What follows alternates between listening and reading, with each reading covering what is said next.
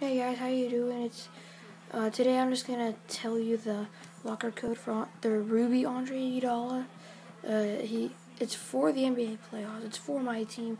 If you need to improve your team, uh, you can get this Andre Iguodala Ruby character. Uh, you just go to locker codes, and it's a lot different than the other locker codes.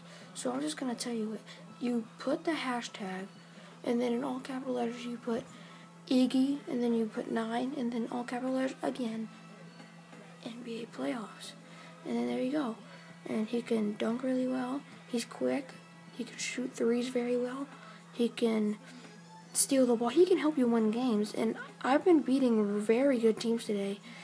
And and I'm saying like teams with diamond LeBrons, uh, Stephen Curry's that are diamonds, and yeah, I'm beating all kinds of people who have Kevin Durant on their team.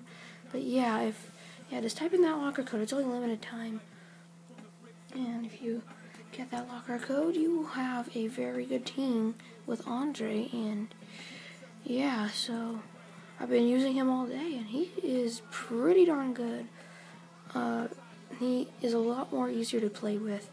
And yeah, so that's all I have today. And yeah, so.